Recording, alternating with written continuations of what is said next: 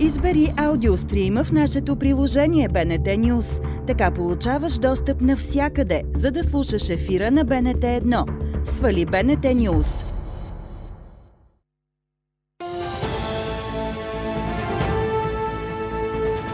Въпросът дали България да поднови вноса на украинско зърно предизвика искания за оставка на правителството. Според управляващите вносът от Украина ще помогне цените на храните у нас да бъдат намалени. Според опозицията това ще навреди на българските производители.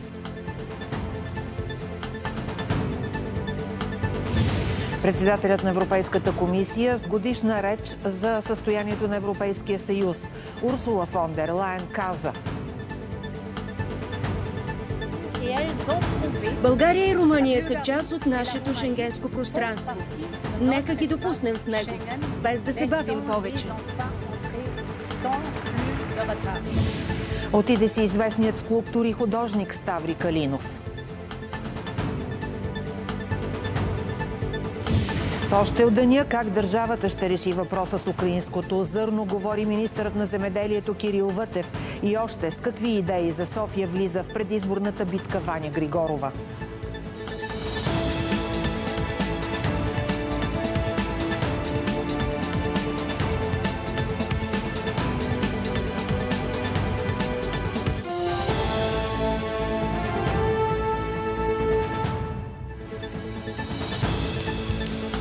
По света и у нас в 18 започва добър вечер. Правителството предлага да отпадне забраната за внос на украински продукти след 15 септември. Зад идеята застават, от, зад идеята застават депутатите от Продължаваме промяната Демократична България, ГЕРБ, СДС и ДПС. Решението предстои да бъде гласувано в парламента. Изненадан се оказа земеделският министр въпреки това, пред ресорната комисия министърът каза, че ще се съобрази с мнението на кабинета, защото е част от него. Според Министерството на финансите, бюджетът губи от забраната. Според земеделските производители, това ще унищожи бизнеса им и те се готвят за протести. Темата днес следи репортерът ни Цветелина Катанска. Здравей, Цвети, какви са аргументите за и против забраната? А и преди малко говори земеделският министр. Какво каза той? Добър вечер. Основният аргумент да отпадне забраната е, че по този начин ще могат да бъдат намалени цените на хранителните продукти у нас. Това е идеята както на правителството, така и на Продължаваме промяната Демократична България, ГЕРБ, СДС, както и на ДПС. Току-що земеделския министр коментира, че реално няма точна информация в земеделското министерство какво всъщност се случва на пазара на продажбата на зърно и всъщност дали то ще бъде в полза на земеделските производители у нас или не.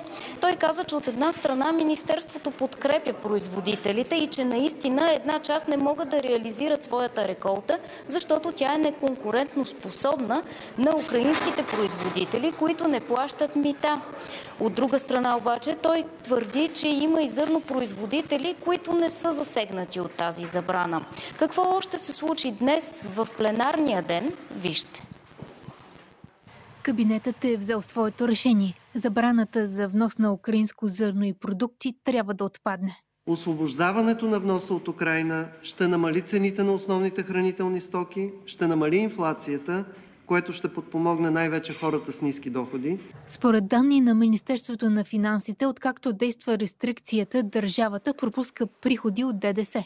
Забраната на внос на украинско зърно, което служебния кабинет поиска от Европейската комисия, към момента е нанесла щети на хазната в размер на 146 милиона лева от невнесен ДДС.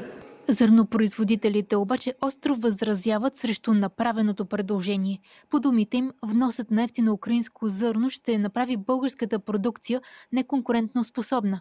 Земеделците дори заподозряха лобизъм от страна на преработващите предприятия. Искат да купуват по-ефтина суровина. Искате ли да ви покажа печалбите на тези преработватели за миналата година? На 5 фирми. 1 милиард лева.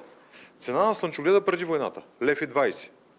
При цена на слънчогледа лев и 20, спомняте ли си колко струваше бутилка олио в магазина? Беше 3 лева. В момента цената на слънчогледа е 70 стотинки. Цената е 3,50. А разходите по производство техните са по-низки, отколкото преди войната. Земеделците настояват да получат помощ, а ако решението бъде прието, ще излязат на протест.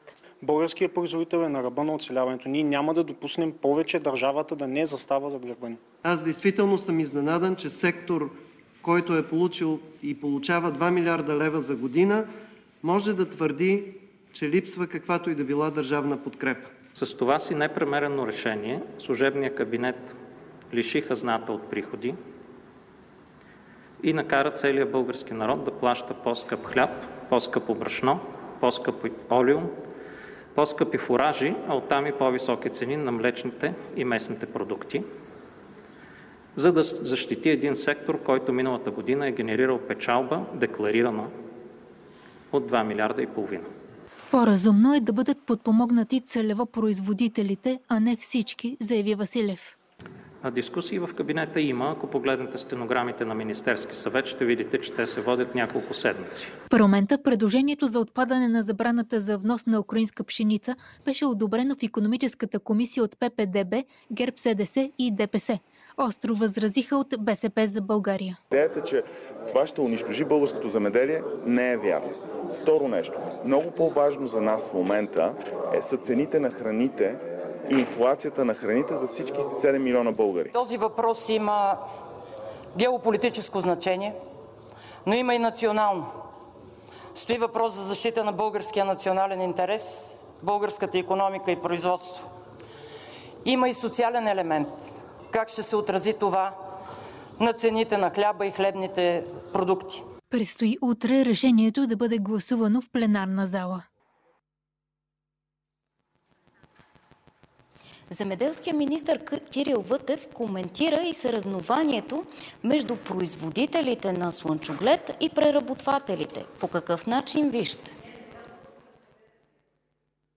Вижте, нашия поглед е доста е, едностранен. Единствено и само от гледна точка на земеделски производители, но ние имаме и, и преработватели. Ние трябва да защитиме и двете страни. От друга страна има анализи на Министерство на економиката, анализи на Министерство на финансите. Така че, а, когато цялата тая компилация от цялата тази сложна информация бъде анализирана, решенията започват да изглеждат по друг начин и на мен не ми остава нищо друго, освен да им се подчиним.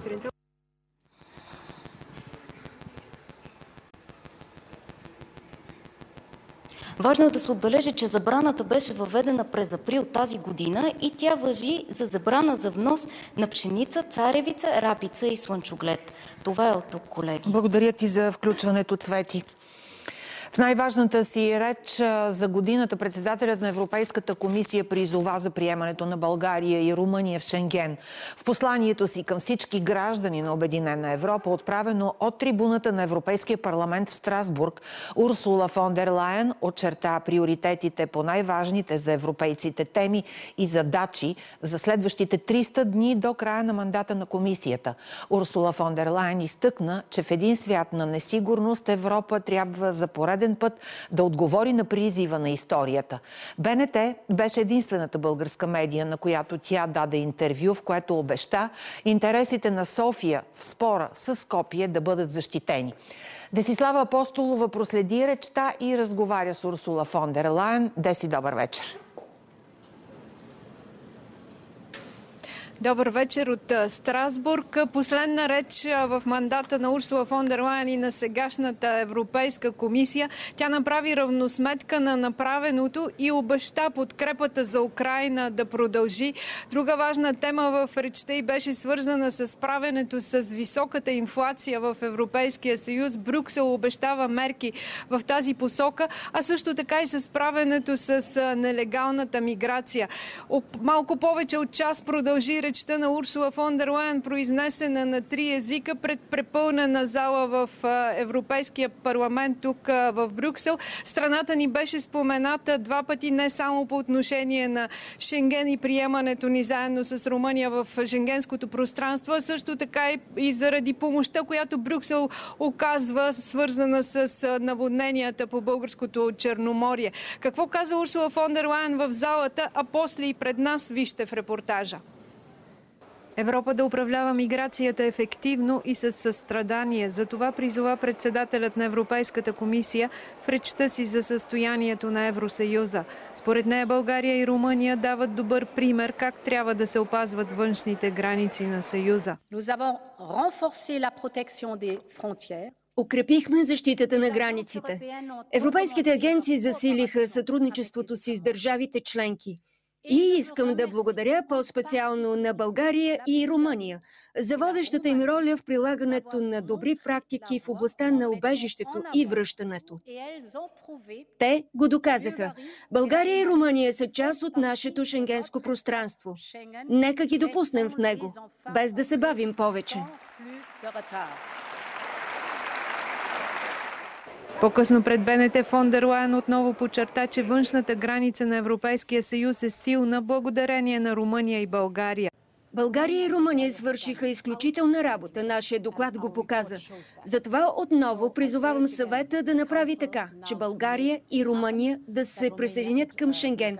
И то напълно заслужено. Вице-премьерът и външен министр Мария Габриел, която също беше в пленарната зала в Страсбург по време на речта, оцени подкрепата на фон дер Лайен за София и Букурещ като категорична. Радвам се, че посланието най-напред е и послание за България.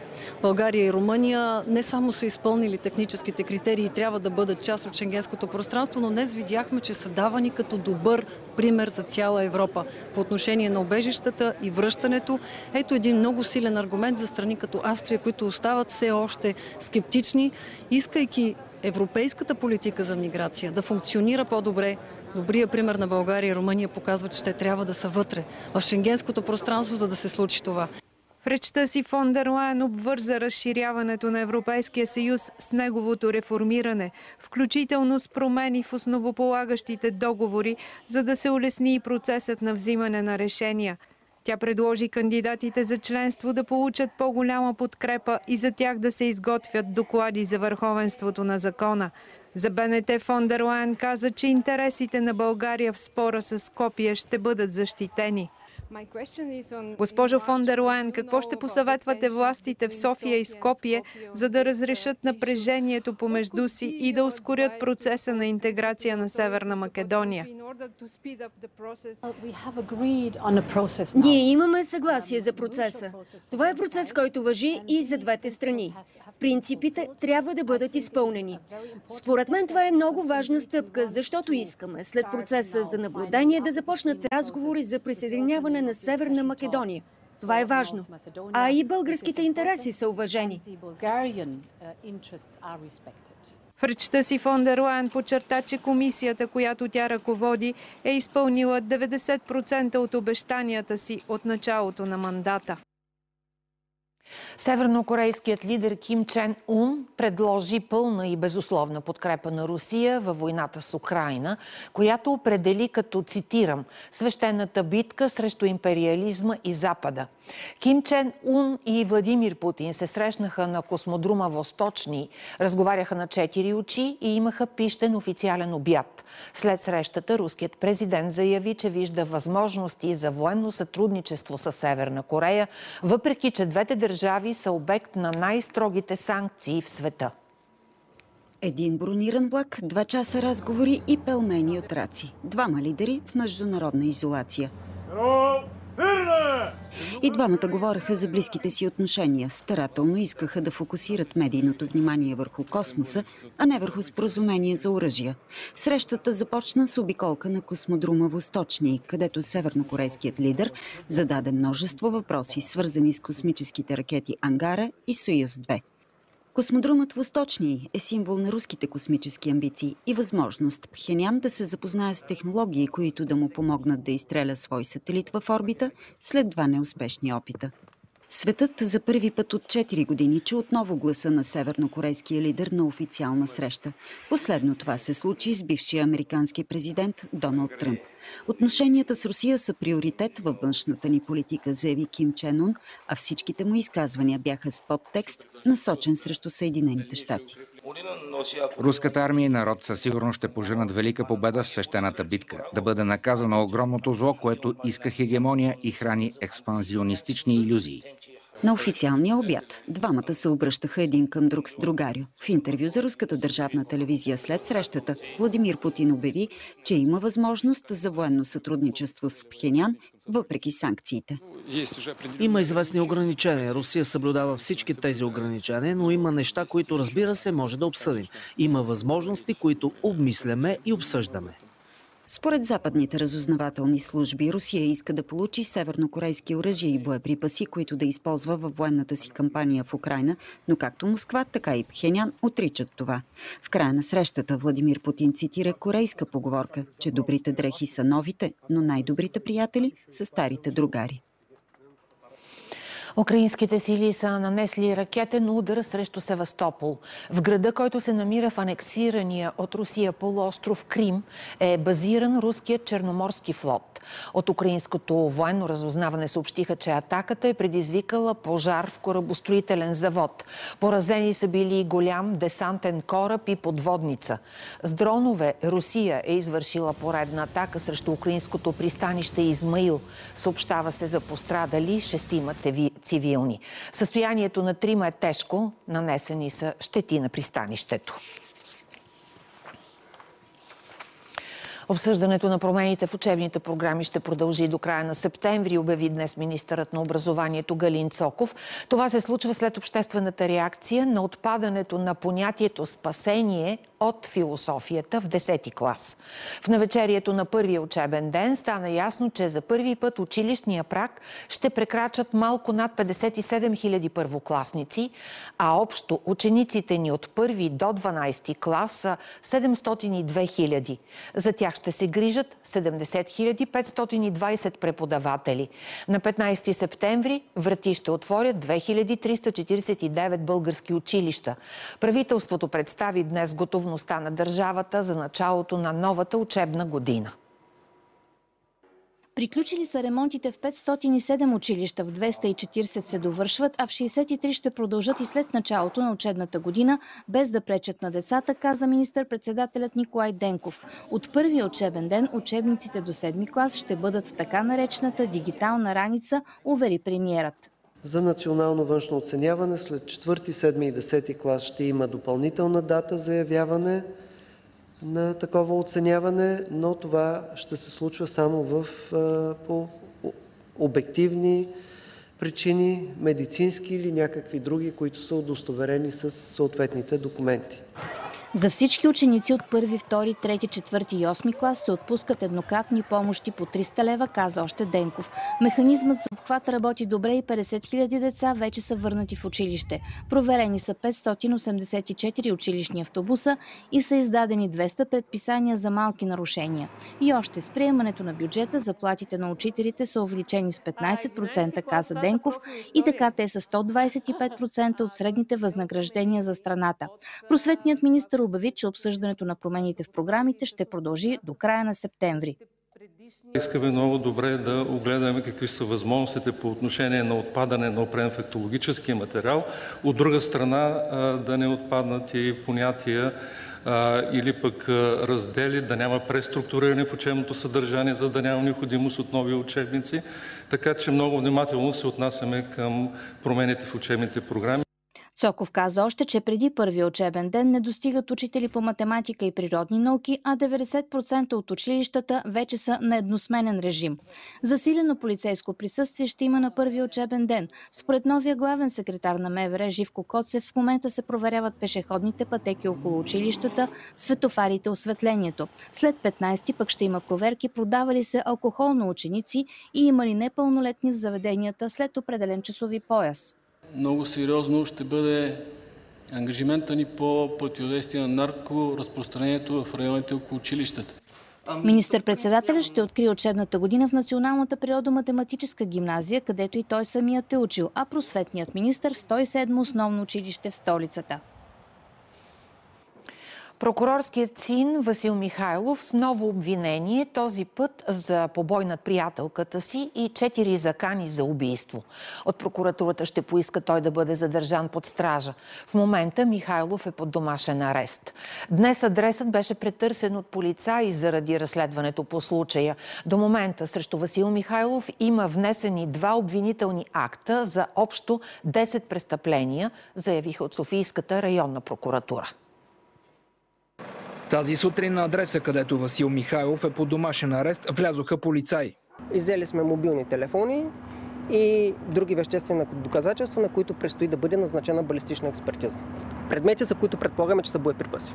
Според прокуратурата са събрани достатъчно данни, че Михайлов няколко пъти е заплашил с убийство приятелката си. Повдигнато му обвинение за отправяне на закана с убийство става въпрос към настоящия момент за четири деяния, като според свидетелските показания е установено, че заканите са отправени по различен начин, като става въпрос за лично отправяне на закани, отправяне на закани чрез телефонни обаждания.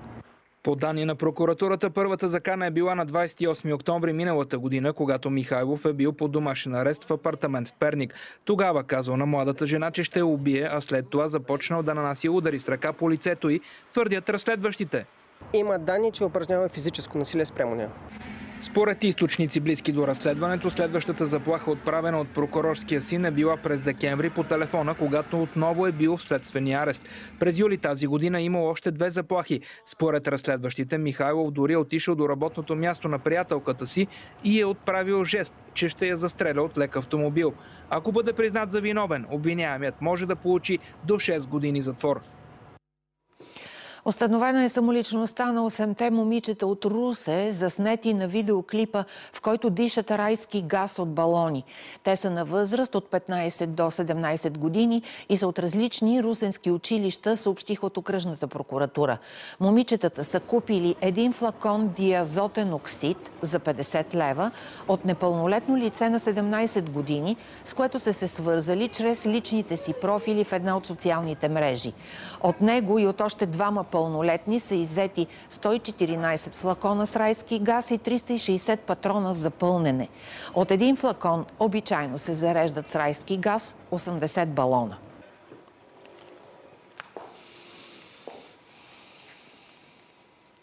Част от българските спасители, които извадиха Марк Дики от пещерата Моджа в Турция, се прибраха. Двама от тях през почти цялото време на спасителната операция остават на 1000 метра дълбочина. Слизането до тези метри им отнема повече от 9 часа, а температурите в турската пещера, където американският спелеолог получи кръвоизлив, са между 1 и 7 градуса. Акцията по спасяването му продължи 10 денонощия. Тодор и Димитър са едни от първите спасители, които стигат до Марк Дики. Почти през цялото време те остават в най-низката точка на пещерата, където температурата е между 1 и 7 градуса при 100% влажност. Преди да започне операцията по изнасянето, американецът припада в ръцете им. Стигнахме, реално бяхме втория екип, който пристигна. Занесохме кръв. Имаше един момент, в който Марк изпадна в колапс. Да, припадна да, на Димитър ръцете трябваше да го носиме на ръце. Български екип ние бяхме абсолютно през цялото време в а, из цялата пещера, макар нали, да се води само една секция, че беше за, начислена за нас. Практически през цялото време имахме момчета, които сновяха нагоре-надолу, изнасяха багажи, лекарства, храни. Слизането на българският екип до най-низката точка отнема повече от 9 часа, а по време на акцията по изваждането му им се налага да спят само 30 минути за 48 часа. Имахме известни съмнения как точно ще се случат нещата, но наистина с много денонощен, буквално денонощен труд непрестанен. От нашата, от нашата група мисля, че от 19 човека общо Имаше моменти, в които само един беше на повърхността. Като цяло координацията, защото на такива дълбочини се изграждат лагери постъпателни, които трябва, понеже много хора влизат, и трябва да се, да се вкарат много, много оборудване. Часове след спасяването на американския учен, българските доброволци се връщат на истинските си работни места, но готови отново да помагат. Отиде си Ставри Калинов, една от най-популярните фигури в съвременното българско изобразително изкуство. Той е известен основно като скулптор, но рисува и икони. Работи с коприна, гипс, бронз, сребро, злато и студена керамика, но предпочитаният от него материал е стъклото. Носител е на много награди, между които Златен век на Министерството на културата за особен принос в развитието и популяризирането на българската култура. Поклонението ще бъде на 16 септември, събота от 12 часа в църквата Свети Седмочисленици в София. Финалът днес е с музика. Тейлър Суифт е големият победител на тази годишните награди на MTV. 33-годишната певица, която беше номинирана в 11 категории, получи приза за изпълнител на годината, а също и за песен на годината. Шакира беше наградена за цялостен принос, а най-добри рок-изпълнители тази година са италианците от Манескин, които изпяха и най-новата си песен «Хъни».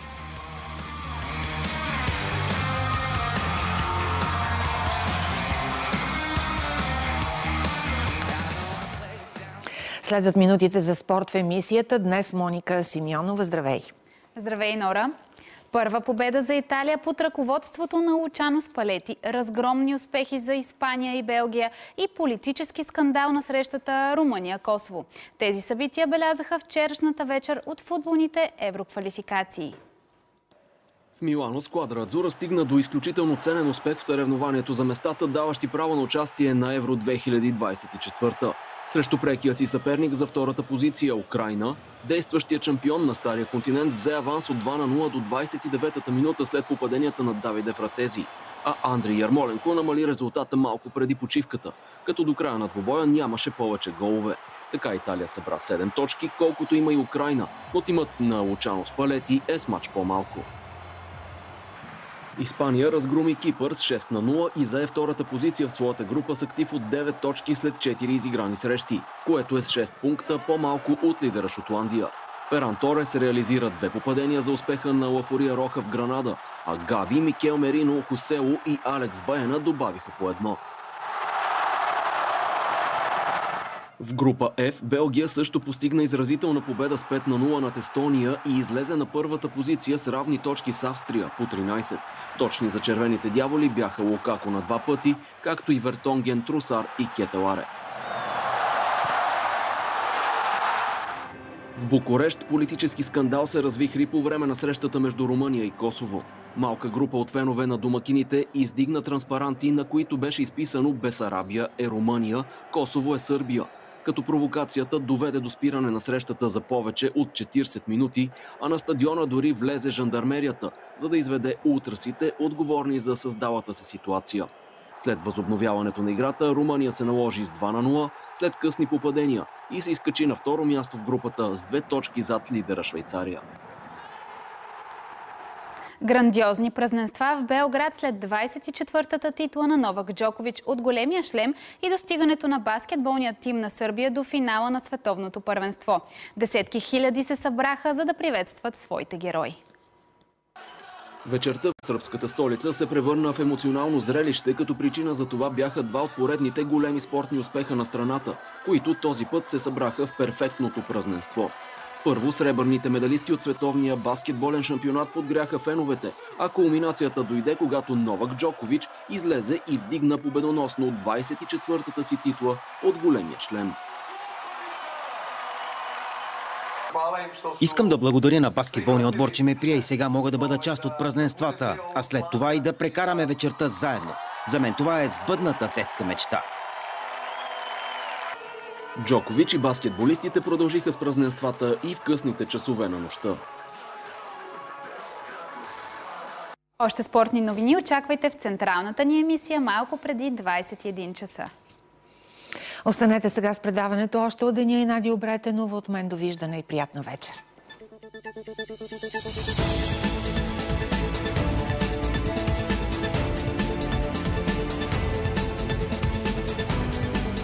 Избери в БНТ Нюз за кои новини да получаваш нотификация и колко често. И всички важни известия вече са събрани на едно място, за да ги прочетеш в удобно за теб време. Свали БНТ Нюз.